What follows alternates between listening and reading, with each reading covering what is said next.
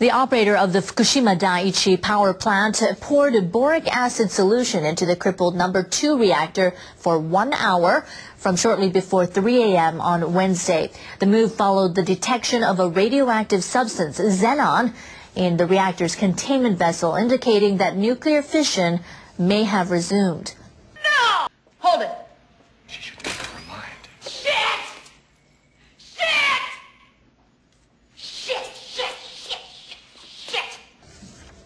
Last Friday, Tokyo Electric Power began operating equipment to remove radioactive substances from the number 2 reactor.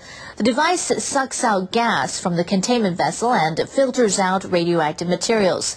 The company has been analyzing the types of radioactive substances and their density near the outlet of the device. On Tuesday, TEPCO detected xenon-133 and xenon-135, substances that are produced during the nuclear fission of uranium-235. The company says the half-life of xenon-133 is five days, and the possibility of nuclear fission inside the reactor cannot be excluded.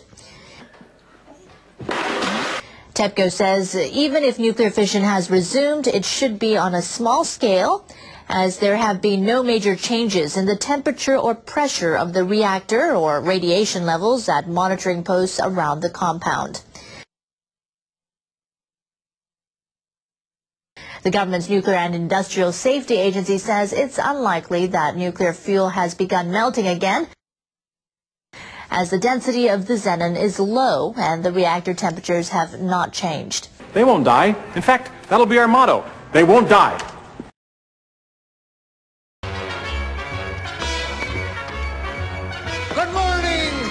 The sun. The Japanese government will open the Fukushima Daiichi nuclear plant to media for the first time since the March 11th disaster. I've got a golden ticket. I've got a golden chance to make my way. Nuclear Crisis Minister Goshi Hosono says journalists will be allowed into the facility on Saturday next week. I never had a chance to shine, never a happy song to sing, but suddenly half the world is mine. What an amazing thing, cause I've got a golden ticket. We're now moving forward to achieve a cold shutdown at the plant by the end of the year. Cause I'd have said it couldn't be done, but it can be done. We're also checking on the safety. Jumping crocodiles, Charlie. We've got a lot to do. Comb your hair, wash your face, polish your shoes. The government wants to do a cold shutdown by year's end. Cold shutdown means the temperatures of reactors are kept at less than 100 degrees Celsius. I never thought that I would be slapping the lap of luxury, cause I'd have said... It couldn't be oh, done. But it can be done. Ooh! Hosono says he'll visit the plant to check on the process and speak with workers. And he says he'll let a fixed number of journalists come with him because the situation at the plant is gradually settling down. I never thought my life could be anything but catastrophe.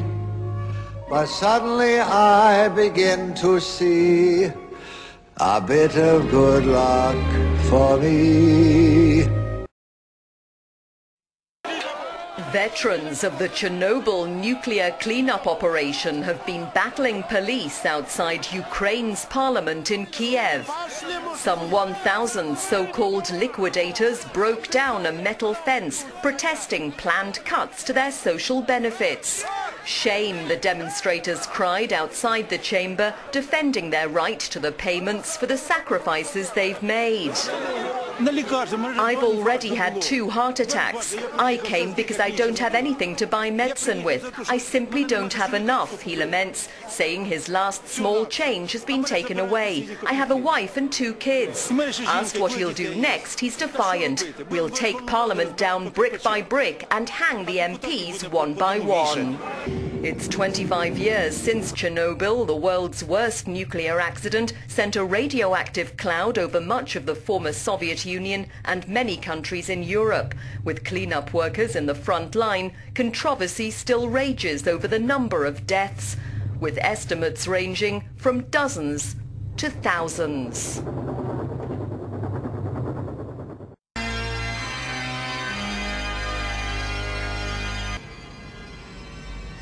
John, Bagley, I want to see you. No, no, it's just a couple of fuses blew. Stitcher's coming out in a week. Listen, we got to talk about this pimple cream. Yeah, yeah, I know he has. Forget the problems. I'll take care of the problems. They're gonna love waiting for it. It's a massacre. But I gotta warn you, at first it might sound ridiculous. It's radical and not without its risks, but I'm certain I can pull it off. Until he hit upon a brilliant advertising strategy. The truth. Paramount Pictures presents The Freak. This movie won't just scare you, it will fuck you up for life. Jaguar, for men who'd like hand jobs from beautiful women they hardly know. Let's not lie, Steve. Let's level with America. We can't level, you crazy asshole. We're in advertising. So his company rewarded him by putting him in a mental facility. Hello, I'm William Holden. Hi, I'm Kathy. Hold me. Please hold me. Oh, oh, well, I am holding you. Oh, I know, it's a female thing. We say it a few times. Oh. We're maniacs! Ask around. Who? But now the public is hooked on the honest sell. This honesty, I, it's a terrific concept. We don't know much about it. I want to get you on it. And Emery can barely keep up with the demand until he gets a little help. I'm quite visibly moved. From some people who can barely keep up with reality. We know you love him, but if he happens to die, we give you two Mercedes and a summer home. Wouldn't that be nice too? John Hancock. Crazy people. I'm going to run some Caucasians down today. You have to be a little nuts to tell the truth. Who here wants to be an ad man? Who here wants to be a fire engine? Crazy people. You're chain smoking, darling. I know I am. I know I am. I'd Like another vodka martini, dry as a bone, twist no olive. Spritzer, please. I tell you, Julie, I'm out of my mind. I'm getting nowhere. Zero. Stop getting so wound up about it. It'll come. And please put that cigarette out. That's three in ten minutes.